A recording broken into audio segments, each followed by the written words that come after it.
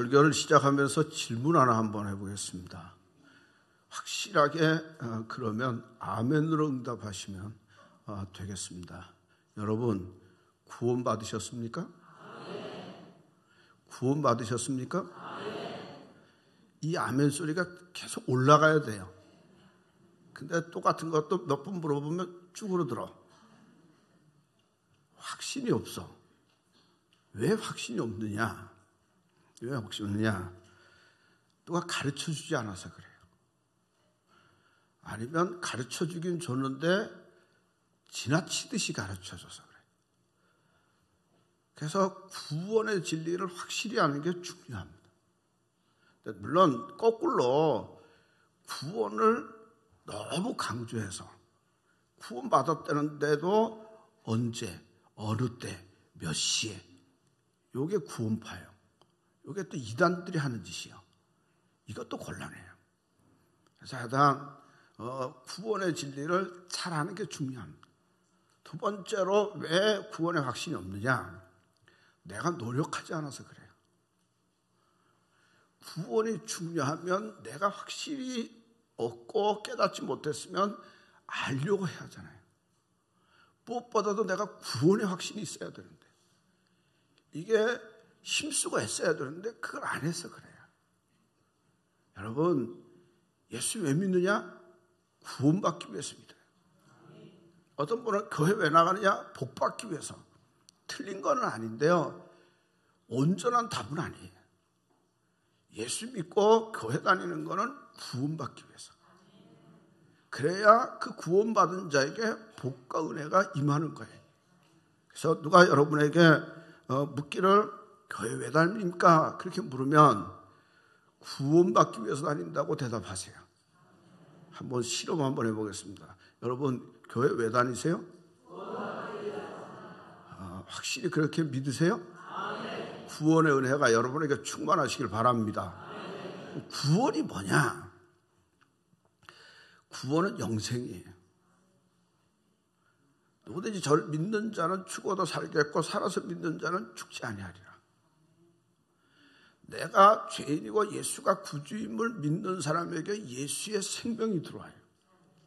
그게 영생이에요. 이 영생이라고 하는 거 놀라운 축복이 뭐냐면 이 영생 얻은 자는 심판에서 면해져요. 율법의 저주는 끝나가요. 이 영생 얻은 사람은 지옥에는 안 가요. 사탄 마귀 권세는 이겨요. 그러니까 굉장히 중요하죠. 누가 구원받느냐? 예수가 구주임을 마음으로 믿고 입으로 시인하는, 자, 시인하는 자마다 구원받습니다. 여러분, 구원받은 여러분에게 영생이 있는 줄로 믿으십시오. 또 하나, 구원은 뭐냐? 기쁨이에요. 성경의 말씀에 보면 자기 목숨을 버리면 살리라. 잃으면 얻으리라. 핍박과 시험을 이기는 자는 구원을 얻으리라. 이 구원은 뭘 얘기하냐면 요한계시록에 보면 마지막 때가 되면 주님이 다스리는 세계가 오는데 그게 천년왕국 시대예요. 천년왕국 시대에 구원받은 자가 왕노릇해요. 놀라운 기쁨이잖아요. 상상만 해도 기쁘잖아요. 아직 실감이 안 나세요? 천년왕국 시대에 구원받은 자가 왕노릇해요. 이게 놀라운 기쁨인데 이 기쁨을 너에게 주리라. 그게 주의 약속이에요.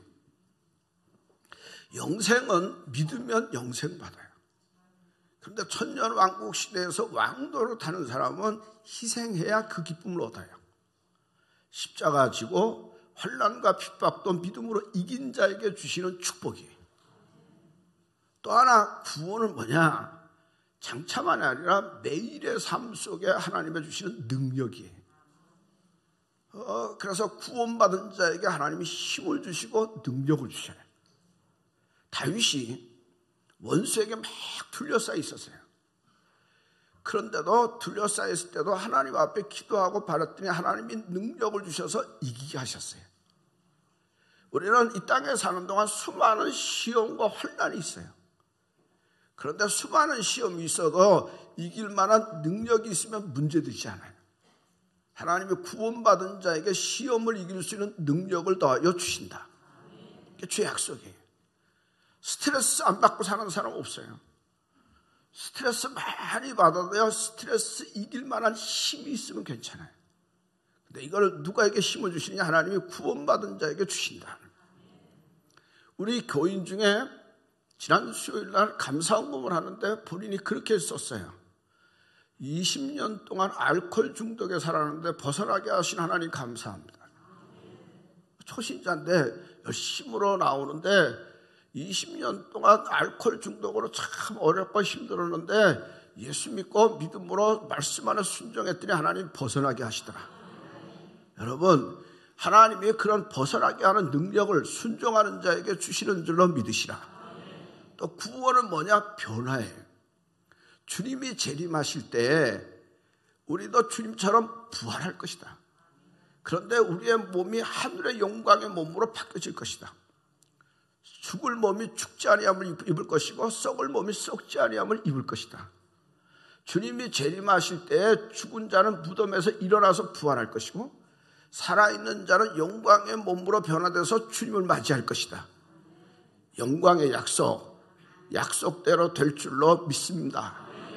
구원은 뭐냐? 건지심이에요. 바울이 그 일행과 함께 아시아를 다닐 때 죽을 것 같은 고통을 당했어요. 사형 선고와 같은 고통을 당했을 때 그의 고백은 뭐냐? 주님이 우리를 건지셨고 건지시고 건지시리라. 주의 어, 그들의 고백이에요. 마찬가지로 구원받은 하나님의 백성을 하나님이 환란과 시험 중에서 건지셨어요. 그리고 오늘도 건지셔요. 앞으로도 건지실 줄로 믿으십시오. 이게 구원의 축복이 크잖아요. 근데 이 구원의 축복이 누구로 말미암아 주느냐? 구원은 구출이에요. 내가 빠져 있으면 누군가 건져줘야 되잖아요. 내가 물에 빠져 있어 허덕일 때 내가 수영해서 나올 수도 있지만 누가 건져주면 내가 살아나요. 그 누군가 건져주는 그 누군가 누구냐는 거죠. 그 누군가가 누구냐? 예수예요. 그래서 예수는 구원자예요.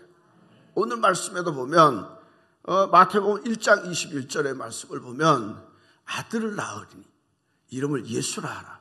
같이 읽어보겠습니다. 시작. 아들을 낳으리니 이름을 예수라 하라. 이는 그가 자기 백성을 그들의 죄에서 구원할 자심이라 하니라. 예수가 구원해요. 성경에 보면 예수님의 모습이 두 가지 면으로 나타나는데 한 면을 놓고 보면 나약하고 가녀리고 그리고 욕먹고 끌려가는 모습이 그래서 구약 성경에는 그 메시아를 연한 순 같고 도살장으로 끌려가는 어린 양 같고 모양도 없고 풍채도 없다 그렇게 했어요. 다른, 어, 다른 면으로 보면 예수님은 또 어떻게 표현되느냐? 전능하신 하나님, 기묘자, 모사, 기정을 행하신 하나님, 풍랑을 잔잔케 하신 하나님, 성전을 잘못했을 때 주의 이름으로 하나님의 권세로 내쫓는 하나님, 그리고 기적을 행하시고 진노하신 하나님, 철장의 권세를 부수는 하나님. 이게 다 뭘 얘기하냐면 예수, 예수가 구주라고 하는 거예요. 여러분, 우리를 구원할 분은 예수밖에 없는 줄로 믿으십시오. 가끔 어떤 분들이 그런 얘기를 해요. 아, 착한 일을 행하면 어, 구원받을 거다. 그렇지 않아요. 아무리 착해도 하나님 앞에 볼 때는 죄인이. 건강하면 구원받았느냐? 그러면 병들면 저주냐? 그렇지 않아요. 바울도 그 몸에 찌르는 가시를 안고 주의 복음을 전했어요. 물질이 우리를 구원하느냐? 그럼 부자는 다 천국 가야 되는데 부자는 지옥에 떨어지고 가난한 나사로는 천국에 이르렀잖아요. 물질이 우리를 구원하는 게 아니에요. 구제하는 게 어, 구원이냐? 그러면 사, 구제하는 사업가가 어, 그런 사람은 천, 어, 구원받아야 될 텐데 그렇지 않잖아요. 구원은 어디서 오느냐? 세례 요한이 말하기를 회개하라. 천국에 갖고 왔느니라. 예수 앞에 내 죄를 회개하고 고해내고 회개하면 천국의 하나님의 나라가 우리 가운데 임하는 거예요. 그게 구원이에요. 여러분, 인간의 본질적인 문제에서 제일 중요한 건 죄사함의 문제예요. 죄가 사함받아야 평안함이 있어요. 죄가 사함받아야 하늘문이 열려요. 죄가 사함받아야 강건함이 있어요. 죄가 사함 받지 않으면 그 모든 것도 이루어질 수 없는데 죄 사함의 은총은 어디에서 이루어지느냐? 예수의 피로 이루어져요. 그래서 예수의 피로 우리가 죄 사함 받습니다. 우리가 이 땅에 수많은 문제가 있고 병마가 있을 때도 이것에서 구원할 분은 예수예요. 내 믿음대로 될지어다. 그래서 내 믿음대로. 그래서 예수님이 하신 말씀 중에 보면 내 죄가 사함 받았느니라 내 믿음대로 될지어다. 이 말씀이 참대히 중요한데요. 내 죄가 사함받는다고 하는 것은 인간 생존의 문제, 본질의 문제가 해결되는 거예요. 내 믿음대로 될지어다고 하는 건 인간의 여러 가지 삶의 문제들이 해결되는 거예요. 여러분, 우리의 죄를 사하는 권세, 또 우리의 믿음대로 응답하시는 하시는 이 모든 권세는 예수 안에 있어요. 그래서 우리는 예수 잘 믿어야 돼. 할렐루야. 예수 잘 믿으시기 바랍니다. 예수 잘 믿어야 돼요. 예수 잘 믿어야 죄사함을 얻고요. 내 믿음대로 응답되는 줄로 믿으시길 바랍니다. 그래서 예수 안에 사는 게 놀라운 축복이에요. 예수 안에 예수를 구주로 믿는 자에게 구원의 은혜가 있는 줄로 믿으시고 이 놀라운 은혜와 감격이 여러분에게 충만하시기를 바랍니다.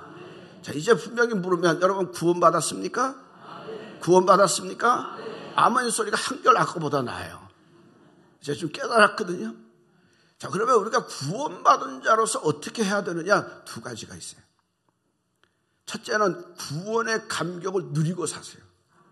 구원의 축복을 누리고 사세요. 내가 예수를 믿었더니 어, 구원받은 내게 하나님께서 어, 하나님께 영생을 주셨어. 나는 영생 얻은 자야. 천국의 백성이 됐어. 그리고 장차 천년왕국 시대에 내가 왕노로 타기로 약속돼 있어요. 또 구원 얻은 내게 날마다 능력을 주셔. 그리고 영광의 몸으로 변화될 거예요. 환란 중에도 낙심하지 않을 수 있는 것은 주께서 나를 건지셨고 건져 주실 걸 믿어요. 여러분 이 구원의 은혜가 여러분에게 충만하시고 이 감격을 누리며 사시기를 바랍니다.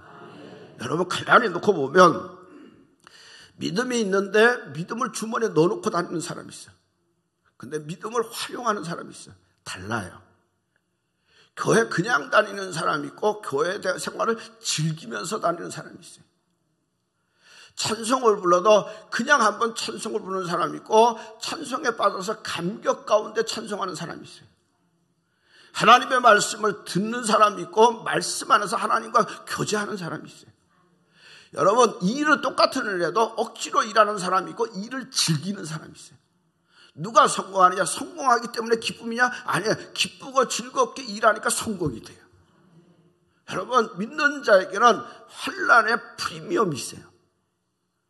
아파트에만 있는 게 아니고 어, 우리는 프리미엄 하면 요즘은 아파트에만 있는 줄. 환란의 프리미엄이 있어요. 고난의 보너스가 있어요. 왜 고난 당하면 인내하게 하죠. 연단하죠. 그런 다음에 하늘에서 소망을 갖게. 그리고 내가 환란의 터널을 통과하고 고난의 터널을 통과하고 나면 내가 성숙돼요. 그러니까 성숙한 사람이 돼서 환란 당하고 고난 당하는 사람을 도와요. 그리고 말도 상처 주는 말 잘 안 해요. 옳은 말이라고 할지라도 절제해요. 그리고 덕을 세우고 은혜를 끼치는 말을 해요. 그러니까 환란의 보너스를 알고 프리미엄을 알면 환란 당할 때도 찡그는 게 아니라 즐겁잖아요. 여러분 신앙생활할 때 이 즐거움이 여러분에게 충만하시길 바랍니다. 구원의 축복을 누리며 사세요. 내가 단순히 예수를 믿었더니 하나님께서 이 놀라운 축복을 내게 주셨다고 하는. 이거를 머리로만 아는 게 아니라 온 몸으로 체험해야 내 삶에 감격이 있고 기쁨이 있어요. 그러니까 신앙생활을 할 때 억지로 하는 것보다 아 오늘도 주일 아니 이게 아니고 어 오늘 주일인데 오늘 가면 아니 전도 설교를 할 텐데 부담 아니 그게 아니고 정말로 내가 예수 안에서 구원받은 나를 하나님이 부르시고 어 말씀을 주시고 사명을 주시고 어, 이 감격을 주신 거, 이것 때문에 감사와 감격이 충만한 믿음의 삶이 되시길 바랍니다. 이런 게 있어야 감사가 있어요. 기쁨이 있어요. 여러분 신앙생활 하면서 믿음 이 땅에 사는 동안에 똑같은 인생을 사는데 기쁘고 즐겁게 사는 거하고 우중충하게 사는 건 달라요. 세상의 모든 것들이 나를 즐겁게 하냐 그렇지 않아요. 세상의 모든 것들이 우리를 슬프게 하는 건 많지만 예수를 믿었더니 예수 안에서 구원받은 축복이 나를 즐겁게 해요. 감사하게 해요. 기쁘게 해요. 이 감사와 기쁨이 충만하시기를 주의 이름으로 간절히 축원합니다. 두 번째로 구원받은 자가 해야 할 일은 뭐냐? 구원의 축복을 나눠야 돼. 바울 시대는 로마 시대예요. 로마가 지배하던 시대는 십자가, 부활, 영생, 구원 이거 허황된 이론이라고 여겼어요. 그리고 그거를 믿는 예수 믿는 사람들은 허황된 사람으로 여겼어요. 로마 시대는 뭐가 중요하느냐? 헬라 문화, 헬라 철학이 중요해요. 그래서 인간이 중요하고 문화가 중요하고 예술이 중요하고 철학이 중요해요. 그런 다음에 로마가 헬라를 이어서 지배한 다음에 힘이 중요해요. 왜 전쟁을 해서 이기고 힘을 얻은 다음에 힘을 숭배하고 힘으로 평화를 이뤘거든요. 그래서 누구든지 그것을 깨뜨리는 자를 싫어했어요. 그래서 예수의 제자들이 예수가 부활했다 구원받아야 된다 외치는 것을 국가를 소란케 하는 사람으로 여겨서 여겨서 그들을 무섭게 여기고 그들을 가볍게 여겼어요. 그러니까 그들에게 로마 사람들에게 복음을 증거하면 어, 증거하면 먹히냐 안 먹혀요. 그런데 바울은 뭐라고 그러냐 그들 앞에서 분명히 말하기를 뭐라고 하느냐 나는 복음을 부끄러워하지 않는다. 너희가 허황된 이론으로 안다고 할지라도 허황된 이론으로 여긴다고 할지라도 나는 복음을 부끄러워하지 않는다. 자신이 있었어요. 확신이 있었어요. 여러분 오늘 우리가 신앙생활하면서 이 바울의 자세가 우리에게 있어야 돼요. 왜냐하면 오늘 예수 믿는 사람들의 모습을 보세요. 자신이 없어요. 확신이 없어요. 어느 신우에서 예수 믿는 사람들을 모아서 신우회를 만들려고 그 인사기록부를 쭉 봤대잖아요. 근데 거기 보니까 종교 안에 예수 믿는 사람들이 많더래요. 그래서 찾아가 보니까 신뢰 안 한다고 그러더니 다 안 믿는 척 한다는 거예요. 왜안 믿는 척 하느냐? 내가 믿는 게 노출되면 내 신변이 행동이 부자연스럽다는 거예요. 그래서 요즘은 예수 믿어도 교회 할 때도 성경 안 갖고 와요. 요새 또 좋은 시대가 됐잖아요. 스마트폰. 예수 믿어도 어디 가서 직장에 가서 기도도 떴듯이 한번 못해. 하는지 안 하는지. 거기에 무슨 전도가 되겠어요? 거기에 무슨 능력이 있겠어요? 여러분, 복음은 능력이에요. 복음은 능력이에요. 바울이 말하는 건 내가 왜 복음을 부끄러워하지 않느냐? 복음이 능력이라고 하는 거예요. 복음이 들어가는 곳에 죄사함이 있고 의로움이 있고 천국이 있고 성령의 역사가 있고 어, 하늘문이 열리고 믿으시면 하면 여러분 복음이 능력 있는 줄로 믿으십시오. 사람들이 어떻게 여기든지 간에 복음이 능력 있어요. 복음이 권세가 있어요. 여러분 분명히 아셔야 되는 거는요. 내가 사람들에게 예수를 시인해야 예수님도 하나님 앞에 우리를 시인한다고 그랬어요. 내가 예수를 부인하면 나도 너 모른다는 거예요. 여러분 하나님 앞에 갔을 때 예수님이 우리 아 이 사람 내가 압니다. 나를 위해서 헌신했습니다. 희생하였습니다. 수고했습니다. 그래야지. 나 몰라요. 그러니까 내가 신앙생활하면서 나 편한다고 신앙생활할 게 아니잖아요. 내가 이 땅에서 예수를 부인하면 주님도 난 모른대요. 그런데 나를 내가 어떤 상황에다 불이익이 있다고 할지라도 내가 부족하다고 할지라도 예수를 시인하고 예수의 능력을 자랑하면 주님도 나를 안다요. 그러면 성령의 아름다운 역사가 우리 가운데 이루어지게 될 줄로 믿습니다. 구원받은 자는 구원의 축복을 누릴 뿐만 아니라 구원의 축복을 나눠야 돼. 그러려면 내가 복음을 자랑해야 될 거 아니에요. 내가 구원받은 은혜를 자랑해야 될 거 아니에요. 입술을 열어 자랑할 수 있는 입술이 되시기를 주의 이름으로 간절히 축원합니다. 미국의 기업 중에 제너럴 일렉트릭이라고 하는 어, 기업이 있는데요. 이 회사가 오래전에 위기를 만났어요. 그래서 40대 초반에 되는 웰치라고 하는 사람을 경영인으로 모셨어요. 이 웰치가 이 회사를 25년 동안 끊임없이 외친 말이 있어요. 그게 유명한데요. 그 뭐냐? 관료주의를 증화라, 관료주의를 쳐버려라, 관료주의를 부셔버려라. 그래서 할 수 있는 방법을 쓴 게 다운사이징이라고 하는 기법을 썼는데요. 기업의 목적에 반대되는 것들은 사람이든 제도든지 다 제거하는 거예요. 그래서 기업의 목적에만 충실했더니 우수 기업이 되더라는 거죠. 대개 기업이 성공하고 성장하다가 보면 목적을 잃어버린대. 그리고 긴장감을 잃어버린대. 그리고 자기 권위, 자기 이익을 챙긴대. 그리고 일하기보다는 회의하기를 더 즐겨 하고, 어, 그리고 그저, 어, 목표보다는 안정을 위한다는 거죠. 가만히 보면, 교회도요, 교회 관료주의에 사로잡힐 수가 있어요. 교회가 어느 정도 지나면 교회가 해야 할 목표와 목적을 잃어버려요. 그리고 긴장감이 사라지고 하나님의 뜻과 교회의 목표보다는 내 뜻과 내 영광과 내 이익을 추구할 수도 있어요. 교회가 관료주의에 사로잡히기 시작하다 보면 예배보다는 회의를 더 길게 할 수도 있어요. 되게 그런 교회는 망해요. 회의 그렇게 중요하지 않아요. 제가 원칙을 분명히 말씀드리면 회의는 100%는 없어요. 만장일치는 없어요. 그래서 중요한 회의는 3분의 2면 3분의 2면 통과시키세요. 가벼운 거는 2분의 1이면 되고. 그리고 3분의 2로 통과됐으면 반대했던 사람도 통과됐으면 따르세요. 그런데 어떤 사람은 통과돼도 자기가 반대했다고 그걸 끝까지 고집하는 사람이 있어요. 그러면서 무슨 주의를 해요? 그 사람이 무슨 일꾼이에요? 그러니까 중요한 일이면 3분의 2가 찬성하면 내가 반대해도 따르세요. 믿음으로 하면 이게 중요해요. 그래야 회의 문화에 빠지지 않아요. 교회는요, 회의가 중요한 게 아니에요. 그것이 회의를 필요 없다는 얘기는 아닌데 회의만 해서는 안 돼요. 교회가 교회가 해야 할 일을 잘해야 돼요. 가만히 놓고 보면 우리 교회가 한참 성장할 때 모습을 보면 소문이 잘 났어요. 교인들이 열심히 예수 자랑하고 교회 자랑했어요. 그리고 열심히 전도했어요. 그리고 새신자가 오면 쫙쫙 빨아들였어요. 다시 말하면 잘 안착시켰어요. 끼리끼리 이런 걸 안 했어요. 관료주의에 빠진 교회, 망하는 교회들을 보면 끼리끼리 이러는 거예요. 끼리끼리는 안 돼요. 그래서 열려져서 받으셔야지. 그래서 새신자가 정착하게 하고 열심히 기도했어요. 열심히 예배했어요. 열심으로 아멘했어요. 열심으로 헌신했어요. 회복돼야 할 일인 줄로 믿으십시오. 교회가 해야 할 일은 뭐냐?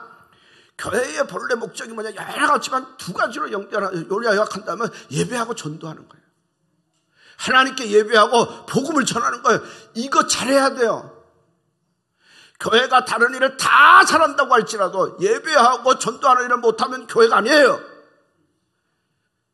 그런데 가만히 놓고 보면 대한민국 교회가 다 예배하고 전도해요. 근데 문제는 어, 뭐냐? 얼마나 더 잘하느냐가 중요해요. 늘 예배하고 찬송하고 기도하는데 얼마나 더 전심을 다해서 하느냐. 전도하는데 얼마나 더 전심을 하느냐가 중요해요. 모든 교인들이 같이 해야지. 몇 사람만 하는 게 아니라 다 해야 돼요. 전력을 다해서 해야 돼요. 힘을 다해서 해야 돼요. 동의하시면 하면. 동의하시면 하면. 그래서 어린아이부터 노년이기까지 다 해야 돼요. 여러분, 이번 전도 운동 다 합시다. 다 합시다. 다 합시다. 나도 합시다. 여러분도 합시다. 전심으로 합시다. 하나님 역사하실 줄로 믿습니다. 구원의 놀라운 역사가 우리 교회를 통해서 이루어지게 될 줄로 믿습니다. 교회는요, 교회 관료주의가 되면 안 돼요. 그러면 성령의 촛대가 옮겨가요. 하나님의 역사하시는 교회, 하나님이 기뻐하는 교회, 복된 교회가 되려면 하나님이 원하는 본래 뜻을 잘 해야 돼요. 그러면 하나님께는 영광이요, 축복된 교회와 축복된 성도가 되는 줄로 믿으시고 이 사명 잘 감당하는 우리가 되어야 될 줄로 믿습니다.